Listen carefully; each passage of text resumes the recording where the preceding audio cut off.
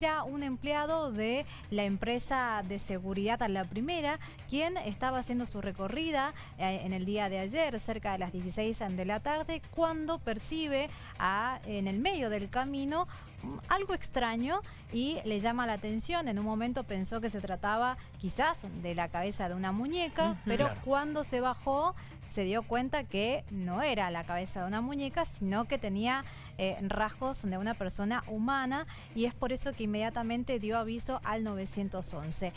Llegó el personal policial a Sí. la zona para poder establecer en qué condiciones se había encontrado esta parte de, eh, de un resto de un cuerpo humano y eh, empezaron a hacer las investigaciones al principio eh, en las inmediaciones de esta zona que estamos viendo allí en imágenes para ver si existían Claro. las otras partes de esta, de esta cabeza, del resto del cuerpo. Sofi, que no se ha hallado ninguna otra parte del cuerpo, de acuerdo a la data que tenemos, no se halló el resto Nada. del cuerpo. Por ahora no. Y que eso es lo que habilita la idea de que no necesariamente haya sido un homicidio, si bien entendemos es lo que más fuerza tiene, sino que puede haber sido un suicidio o otro tipo de muerte y que, por ejemplo, perros hubiesen arrastrado la cabeza Claro. hasta ahí.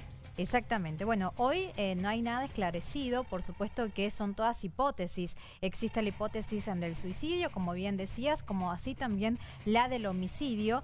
Y en este sentido hay que investigar. ¿Qué se está llevando adelante en cuanto a la investigación? El cuerpo médico forense lo que está haciendo por estas horas es analizar eh, algunas de las piezas de, de- dentarias, ¿no? Como son los Claro. dientes, por decirlo más coloquialmente, para eh, poder extraer ADN, también como así también eh, paraderos de personas que se estén buscando. Todo indicaría que se trata de un femenino por las características que tiene eh, esta parte de, de este cuerpo, pero que hasta el momento no se ha podido determinar. Teñida de rubia los cabellos, decían, ¿no?